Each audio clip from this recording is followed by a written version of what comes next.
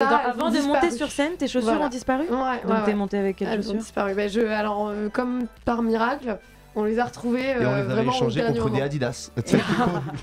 Elle ne connaît pas grand-chose au sexe. Mais absolument tous des people. Chaque mercredi, de 19h à 20h, retrouvez Leslie dans Less and the City sur VL. Je te propose euh, bah, pour le coup de répondre à une interview puisque Ouais. tu ne peux pas encore poser les questions.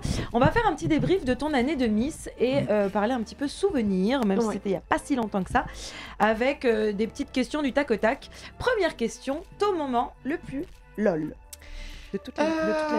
Waouh oh, Il y en a eu plein.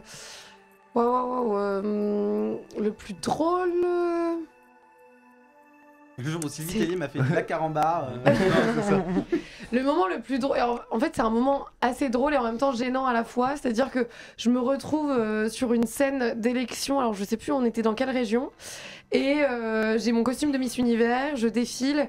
Et en fait, mon costume s'ouvre à l'arrière. Et là, je le sens s'ouvrir. Et je me dis, mais je, je, je On n'ai était rien. là en aussi dessous. avec euh, Yoel. C'est ça, ça, On était- vous comme la fois, C'était une robe du coup? C'était un, un haut euh, comme un grand bustier plein de diamants, donc qui pèse vraiment lourd. Euh, ouais, un peu comme un maillot de bain, il s'était accroché dans le cou, à l'arrière. Je crois qu'on était dans le sud, donc effectivement, finalement, même nu, j'aurais pas eu froid, mais euh, c'était un peu gênant quand même. C'était gênant et en même temps, j'ai trouvé ça très drôle parce que je l'ai assumé jusqu'au bout. Et quand j'ai pris le micro, j'ai tout de suite dit euh, écoutez, il y a un moment donné où il est possible que je sorte de la scène parce que là, c'est en train de se décrocher. Je sais que c'est déjà décroché à ce niveau-là. Si ça de- se décroche dans le cou, je vais vraiment devoir partir parce que ça va pas être possible. Et ça s'est pas décroché. Et non. Il y avait tous les Mais on a du bien fond, si on allait rigolé. se mettre au premier rang, c'est dans décroche. J'allais te demander ton moment le plus loose du coup. C'était celui-ci Bah, en même temps, ouais. pff, Non, si, à Miss Univers, où j'ai un joli ensemble en soie fait par mon créateur en Normandie. Et euh, je sais pas pourquoi, je me dis, tiens, euh, chouette, je vais le repasser pour qu'il soit nickel pour demain.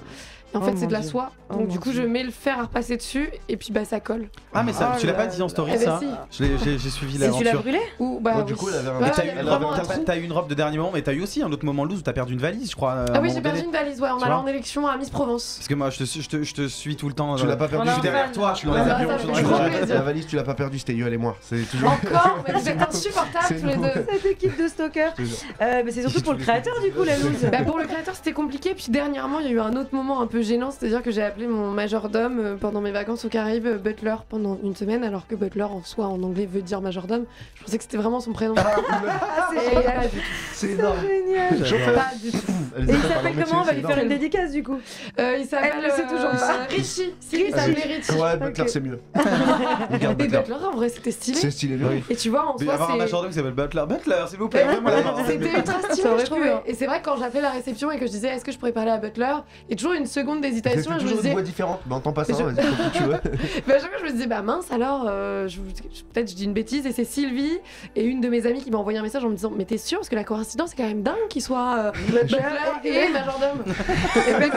Et lui il avait pas osé te le dire. Ah quoi. non, pas du tout mignon. Ouais, non, pas du tout. Et je me suis vraiment excusée devant lui, et j'en ai fait une story parce que je me suis dit, en fait, les gens, généralement, se disent que Miss France est parfaite et qu'il n'y a pas d'erreur, etc.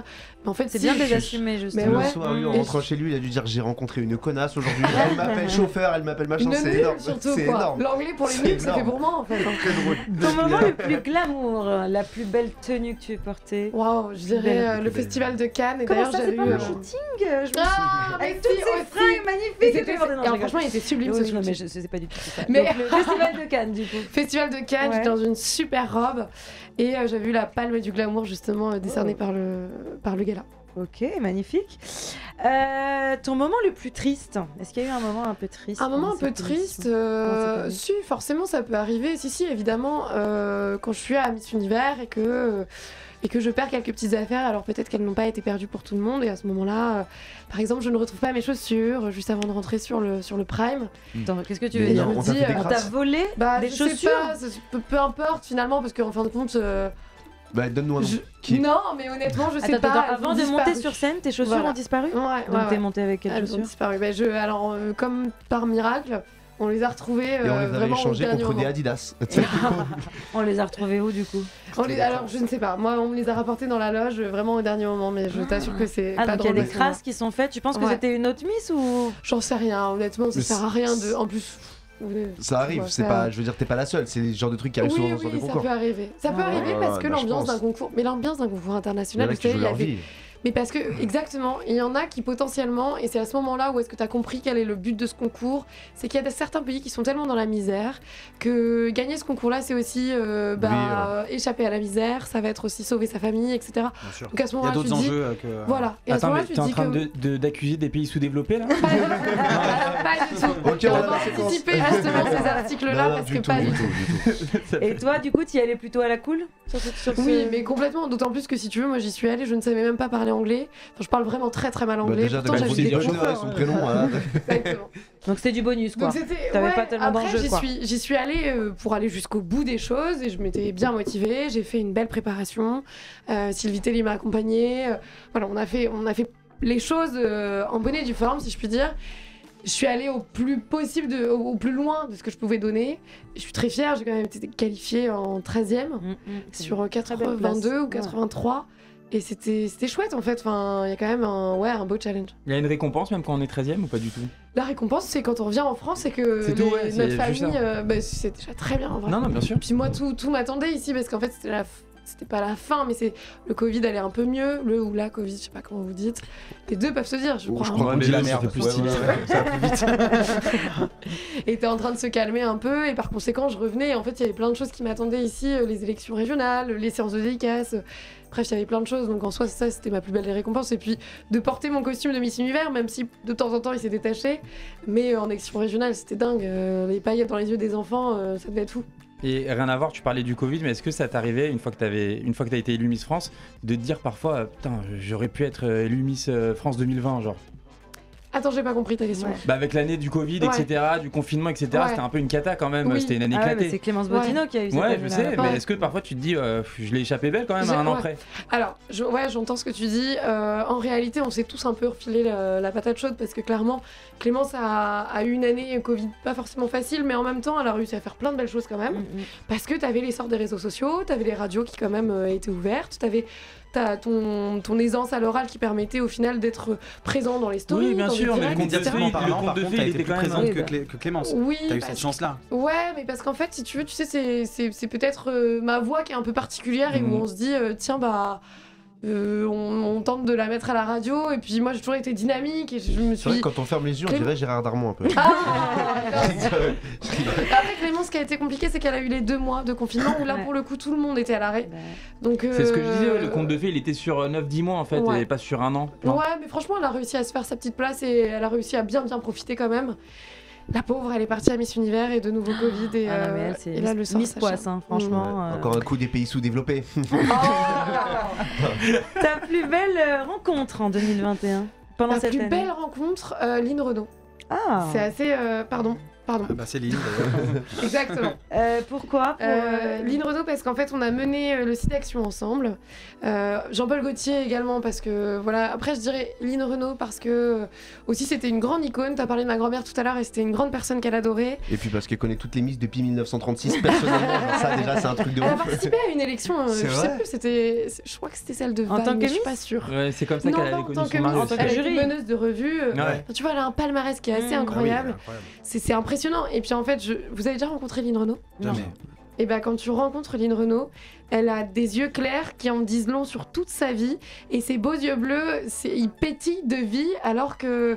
Alors que finalement, je pense que la vie l'a aussi un peu fatiguée. Enfin, à un moment donné, euh, euh, voilà, elle a un vécu, elle a une histoire. euh, c'est impressionnant. En fait, tu vois à quel point c'est une femme de poigne. C'est une femme. euh, je lui ai souhaité mes bons voeux et je me suis dit bon, peut-être qu'elle aura pas l'occasion de me répondre ici. Elle m'a répondu comme toi d'ailleurs. Sur À Insta qui j'ai envoyé un petit message Oui, sur c'est Insta vrai. pour me souhaiter. C'est mes vrai, très Euh, mignon. moi aussi, Personne que on, j'ai on t'a répondu. Ouais, moi, Bah, tu m'as bloqué, euh, je Non. sais pas pourquoi. voeux. Non.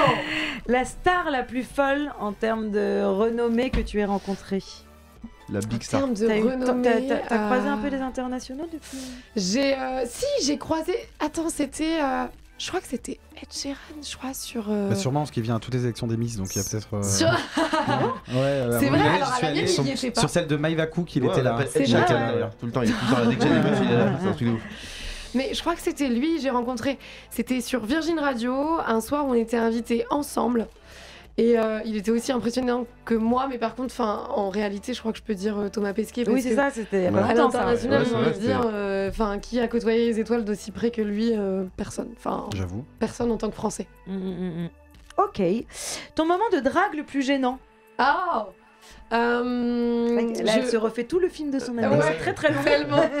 Euh, je crois qu'il y, a des- il y a- il y a des moments, évidemment, où tu sors euh, en boîte, il y a des personnalités publiques, euh, peu importe finalement Tu qui c'est. pas là, je- de toute façon, Non. mais- Ah, elle allait nous lâcher, j'allais même pas te Non. demander quelqu'un de connu, mais Moi, en plus c'est quelqu'un de connu. Bah, Non. c'est souvent. C'est arrivé, ouais, des gens de connus, mais c'est toujours très. euh, en fait, j'a- j'avoue, je suis, euh, je suis très avenante et tout se passe bien quand on est tous ensemble, mais quand je connais pas et quand euh, je suis euh, dans mon côté pro, enfin perso plutôt, et que je sors, je fais quand même attention aux gens euh, qui sont autour de moi.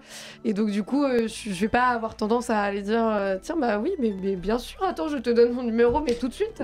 Ah, C'est donc trop tu as refusé de donner ton numéro à Je des pas. personnalités. Est-ce que, non, est-ce qu'il fait du foot mais. Est-ce qu'il fait du Ah, foot je sais. Est-ce qu'il fait quoi? Est-ce qu'il fait du foot? Parce que les footballeurs, limite, foot je sais que les Ah. footballeurs, ils aiment bien les mises. Vrai. c'est Si tu veux pas le dire, on peut le deviner. Ah Bah ouais, vous pouvez le deviner, mais justement, par contre, on va rebondir sur une autre personne qui, quant à elle, n'était pas connue, où je vais à la pharmacie et genre, euh, je... Ah non, j'ai un mieux Mieux que la pharmacie, parce que la pharmacie, c'est un petit numéro de téléphone sur un ticket de carte bleue, donc c'était mignon. euh. C'était le pharmacien Voilà. C'était non, c'était pas le pharmacien, c'était une personne euh, qui était à la pharma euh, comme Ok, ok. Qui venait prendre Les un truc pour les tout, hémorroïdes. Ah ouais. Il va s'acheter des médocs, il dit tiens, on va tenter ça. Je On vais- tente- je on vais tente le boîte ça coup. sur une boîte d'imodium. C'est Je vais chercher mes médicaments pour les hémorroïdes. Tiens, Miss France. Et alors l'autre, c'était Non, l'autre, c'était. bah, on prend beaucoup l'avion quand on est Miss France. Et à un moment donné, il y a le- la chef de bord qui vient me voir. Au moment où, en plus, la personne qui m'accompagnait n'était pas avec moi, donc j'étais toute seule à ce moment-là, qui me dit euh, Tu étais dans le même hôtel que cette personne. Et par conséquent, il n'est pas dans l'avion, mais par contre, euh, il m'a laissé un petit mot pour toi. Et c'était trop mignon, comme au collège, tu sais, le petit mot qui est plié en 15 000. avec la- Et tu coches Oui Oui, ou non. non Et, euh, oui, alors tu veux non, du coup, ouais. Mais il y avait le petit numéro de téléphone avec euh, très ravi, enfin très heureux de t'avoir rencontré. Est-ce que tu lui as envoyé un petit message pour lui souhaiter la bonne année aussi Je crois que l'histoire dira que non, il me semble. D'accord. Non. La légende dira que non. En vrai, c'était Yoel et moi. Mais c'était euh, très mignon. Oh, encore ouais, Non, Ouais, même un numéro de téléphone pour deux, quoi. Les Vraiment, forceurs. vous, avez tout. On à deux. partage, on partage.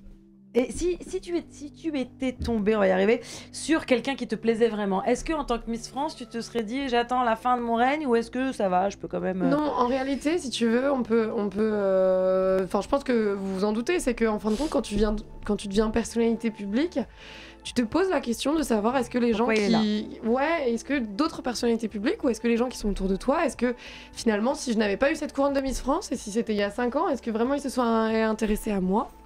C'est une vraie question et euh, faut pas non plus, euh, voilà, tout Bah, Et bah, après, il dramatiser. t'aurait- il t'aurait peut-être pas croisé. Parce que. Mais vous- oui, vous effectivement. pas dans, les, dans le Ouais, milieu. Et, euh, complètement. Donc t'as mis des râteaux à tout le monde cette année, quoi. Non, Non. non, non, non. Laisse la porte ouverte. Mais je, je crois qu'il y a des très belles amitiés qui valent euh, mille fois euh, un grand amour. Mais Elle est tellement. forte, C'est elle est fort. tellement Mais fort, mais tellement. Fort, jure. franchement, elle est trop forte.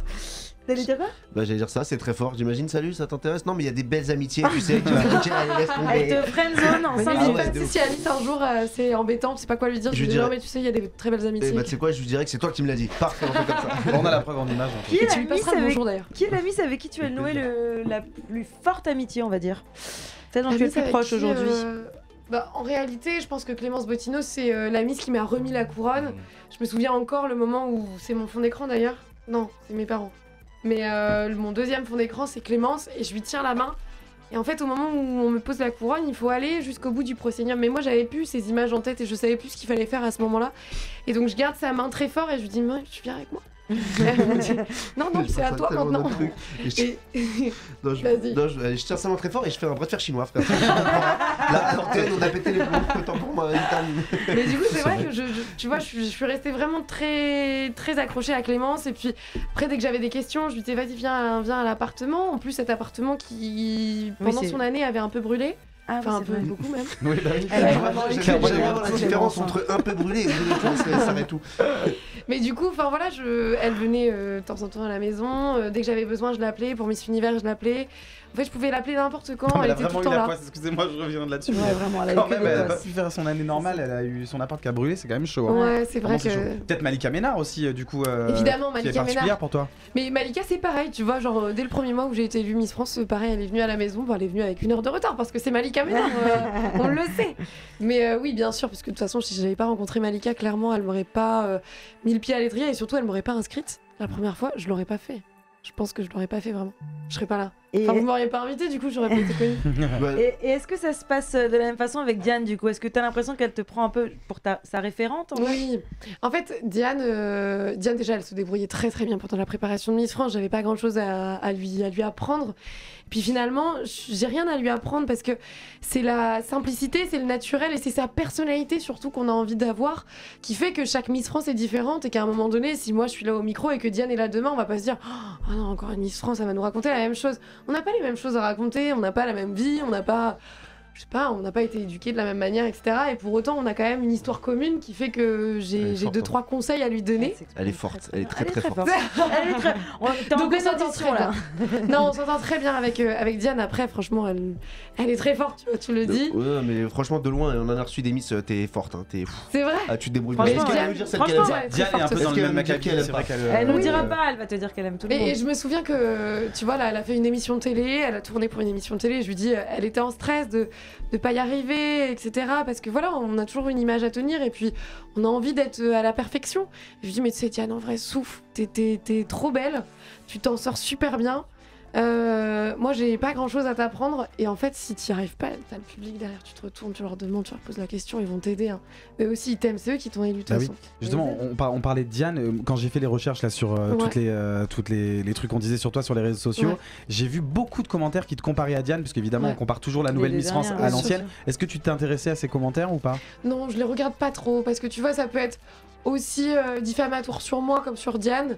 Et euh, Mm. je veux pas que ça fasse de différence, je veux pas avoir de. En fait, on n'a pas à nous comparer, tu Et t'as vois. pas eu cette curiosité un petit peu mal placée de te dire Bah- bon la, euh, la nouvelle c'est quand même celle qui, qui prend le relais. Ouais. Qu'est- Non. Qu'est-ce que les internautes en réalité, non. pensent Tu sais, moi, j'ai très rarement regardé les commentaires, euh, même sous mes photos, etc. euh, quand j'étais dans le speed de Miss France, parce que T'as pas le temps. parce que t'as pas le temps, et puis des fois parce que t'as pas envie de faire de la peine, parce que finalement, même les 3-4 commentaires qui vont pas être cool, Tu vas les tu vas te dire. Euh, on, on se dit la vérité, jamais tu t'es dit un petit chien, elle a failli tomber. Alors, non, pas pour Diane, mais. euh, Mais pour d'autres Non bien. mais pour les On y arrive. commentaires, oui bien sûr, des fois il y en a en fin de compte, tu, tu les lis, tu vois qu'il y a des commentaires méchants et derrière t'as- tu vas avoir 10 personnes qui vont lui tomber dessus en disant mais attends mais de quoi je me mêle? Et puis parce que toi t'as jamais eu un petit bouton sur le visage ou parce que toi non non non. Et en fait finalement on se fait pas l'avocat du diable, en fait ils, ils sont, ils se font rembarrer mais direct par Ouais, d'autres personnes, moi j'ai besoin de rien dire. Mm. Donc euh, Est-ce qu'il y a des y messages comme ça qui ont pu te, te, te donner des complexes? Je sais que c'est Malika qui nous parlait, bah, elle a écrit Ouais. un, un bouquin Ouais, là-dessus d'ailleurs. complexe ouais. Est-ce que euh, des complexes qui sont arrivés depuis que t'es dans la Ils lumière sont en fait? arrivés, euh, Au début, on pouvait dire que j'étais beaucoup trop mince. Et tu vois, à un moment donné, tu te poses et tu te dis, ah, Alors que peut-être tu que. jamais euh, dit ça. Ah non. bon? Du haut et moi, on n'est pas d'accord. Excuse-moi, on va pas lâcher la vanne. Non, c'est moi, je rigole, vas-y, on va pas On lâcher trouvé la un vanne. peu. euh, C'est la fondue sûrement, non Bah ouais. Euh, et au final, si tu veux, au début, je- je- j'écoutais en fait tout ce qu'on pouvait dire. Et puis un jour, euh, je me suis dit, bah écoutez, c'est simple, ceux qui trouvent. Parce que, par exemple, Vaille, ça n'allait pas non plus, moi ça n'allait pas. En fait, ça ne va jamais. Donc euh, ça ira à certaines personnes quand ça n'ira pas à d'autres. En même temps, heureusement qu'on fait pas l'unanimité parce que sinon ce serait, ce serait chiant. Exactement. Vraiment, ce serait horrible quoi. En plus, comme, On serait tous pareils. euh. en plus, comme nom de titre, Miss Unanime, c'est nul. Ouais. C'est beaucoup mieux. Ouais. Ouais. Donc ouais, il n'y a pas eu des gros gros commentaires qui m'ont remis en question réellement, qui m'ont fait trop de mal, non. Par contre, il est sûr que si on touchait à ma famille, si on pouvait dire un méchant commentaire euh, physique, euh, par la parole, ou peu, peu importe en fait, peu importe le méchant commentaire sur des gens que j'aime, là vraiment je serais, je serais, je serais, je serais Ta, pas ta cool. sœur, c'est ta sœur aînée ou ta sœur que... C'est ma sœur aînée. Ta sœur aînée, ok. On la Ouais. compare à toi du coup. euh, Tu sais, quand je me dis toujours quand on est sœur d'une Miss France, Ouais. bah on te compare. C'est-à-dire. Mm. euh, Mais je sais pas tous, si, tous, quand on un voit- peu. Si t'es un peu, si t'es moins jolie que ta sœur, enfin on doit te. Mais en fait, elle, ma sœur, elle est brune, aux yeux marrons, enfin aux yeux marron vert. Euh, elle, Elle, est très, jolie, je l'ai rencontrée à ta soirée de, Oui, de, de VJF de Miss. ouais, c'est ça. Mm. Euh, elle est. Ah, il n'y a pas de. T'as Elle est moi plus aussi. petite que moi. Ouais, mais souvent, souvent, t'as des attentes. Tu sais, quand tu vois souvent la famille avec la Miss, tu te dis Ah, et elle ressemble pas au daron ou à la daronne. Tu sais, souvent, on a oui, des oui, attentes, oui, tu vois. bien sûr. Mais finalement, comme il y a une brune, une blonde, euh, une plus grande, une plus petite, euh, Ouais, ouais. non, et puis. pff, non. En vrai, on n'est pas comme ça, on n'a jamais eu de On comparaison. termine sur deux questions. Le plus gros clash Est-ce que tu as eu un clash?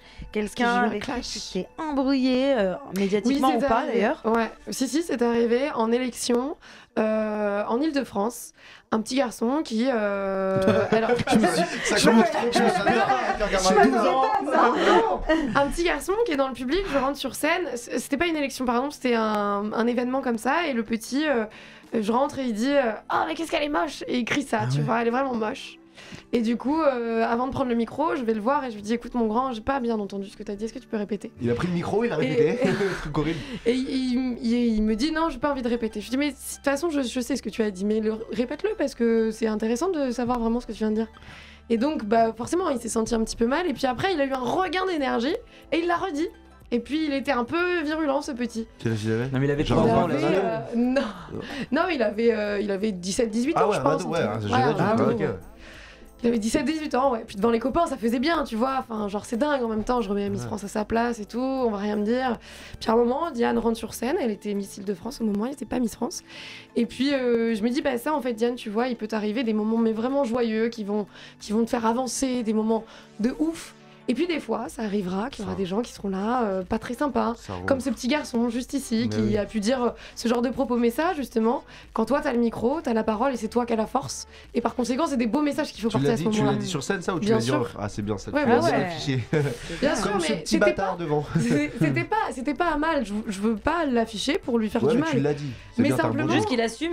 Non, surtout qu'il a pas 10 ans, c'est un mec de 10, Oui, 17, 18 exactement. ans et qui rêverait certainement d'avoir ton numéro de téléphone en plus. Euh, tu vois derrière que quand on a fait la séance de il y avait beaucoup de parents qui venaient et qui disaient mais euh, mais ce petit en fait bah, parce que euh, il fait son grand et que voilà il voulait avoir un peu de prestance devant les copains.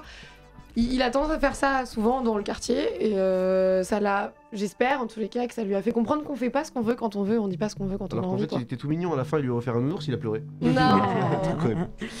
Mais je j'ai pas été non plus euh, méchante avec lui. Enfin, c'était juste lui faire comprendre. Oui, mais voilà.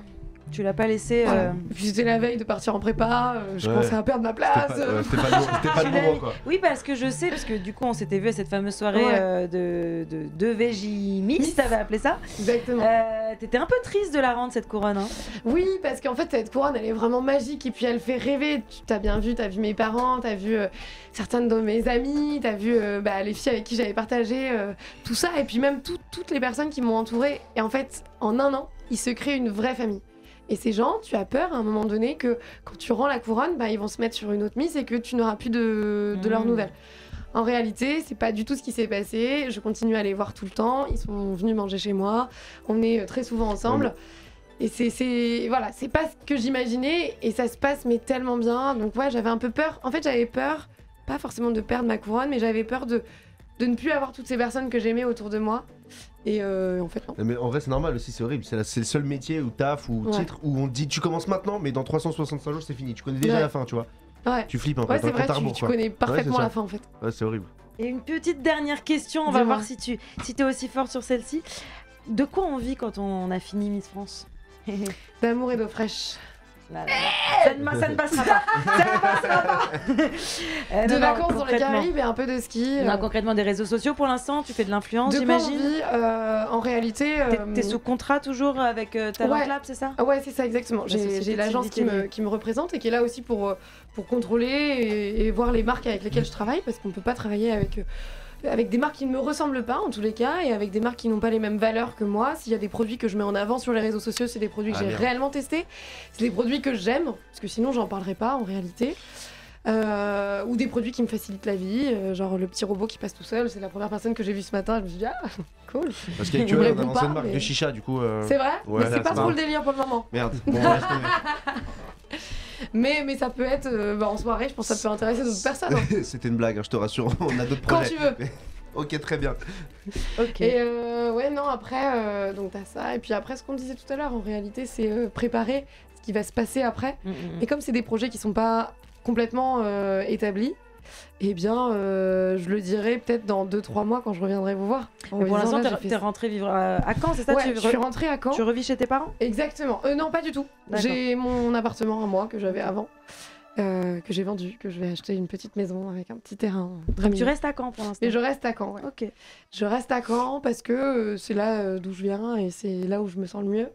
Après, euh, je reviens euh, sur une semaine, je reviens au moins 3 à 4 jours à Paris pour faire des interviews, pour euh, faire Développer des réseau, essais. euh, euh, ouais, t'as as aussi euh, bah, forcément pour aller voir euh, l'agence. Pour, euh, on a pas mal de rendez-vous avec Carole qui est mon attachée de presse. Euh, on a tout ce qui est rendez-vous en présentiel, que ce soit, mais même en fait pour garder quand même euh, Oui, le un lien avec rythme. Paris, bien sûr. Ouais, exactement. Et puis euh, après, euh, ouais, préparer des. Mais il y a même des tournages pour des émissions télé qui vont passer là dans les semaines à venir. Donc ça, il faut venir sur Paris. Et, euh, et en fait, euh, après, ouais, tous les projets qui sont pour le moment en essai. Et euh, Eh bien, prennent beaucoup on a de temps. hâte de voir Bah ça. ouais.